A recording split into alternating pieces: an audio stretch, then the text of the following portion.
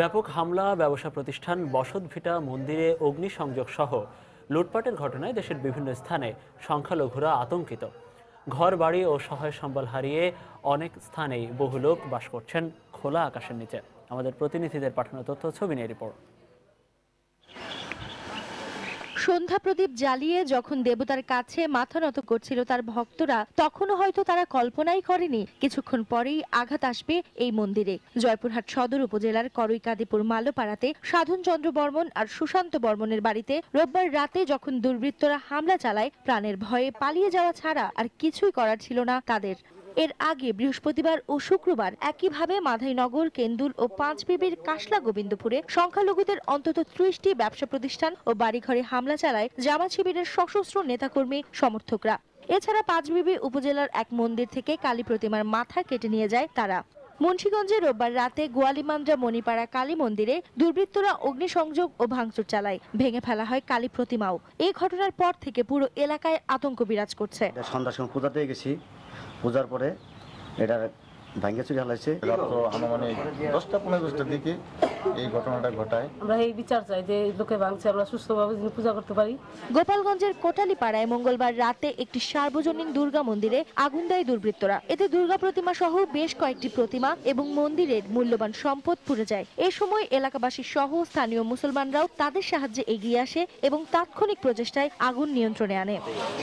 সাবিহানিপা সময় সংবাদ। এদিকে সংখ্যালঘুদের উপর হামলা, আগুন এবং লুটপাটের ঘটনায় এখনও নোয়াখালীর বেগমগঞ্জে সংখ্যালঘুদের আতঙ্ক দূর হয়নি। ঘরবাড়ি আর সহায় সম্বল হারিয়ে অনেকেই বাস করছেন খোলা আকাশের নিচে। বৃহস্পতিবার জামায়াত নেতা দেলোয়ার হোসেন সাইদির মামলার রায় ঘোষণার পরপরই ব্যাপক তাণ্ডব চালায় জামায়াত শিবির।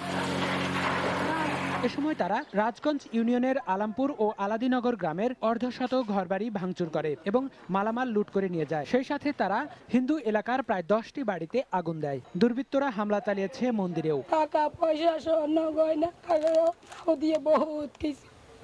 কোনের মতন কোনো কথা নাই। এলাকায় প্রতিটি মন্দির ভাঙচুর করে এবং বাড়িতে বাড়িতে হামলা করে। পড়ালেখা করব আমার শেষ সামর্থ্য নেই। আমার গাড়িটা সব শেষ। আমার সার্টিফিকেট সব শেষ। 带这么欺负 হামলাকারীদের পরিচয় জানতে চাইলে ভয়ে মুখ খুলতে চাইছেন না কেউই। বাড়িঘর কুবাই কাবাই তারপরে আগুন লাগাই দিছে। কারা? এরা কারা? আছেন এটা তো আমরা মানে আমরা তো আইয়ে কইবার লগে দৌড়ে যাই গেছি কিন্তু কারা আমরা কইতে পারি না। এ ঘটনায় জড়িত সন্দেহে কয়েকজনকে প্রাথমিকভাবে আটক করেছে প্রশাসন। সেই সাথে পরবর্তী তদন্তের মাধ্যমে অন্যান্য অপরাধীদেরকেও শনাক্ত করা সম্ভব হবে বলে আশাবাদী প্রশাসন।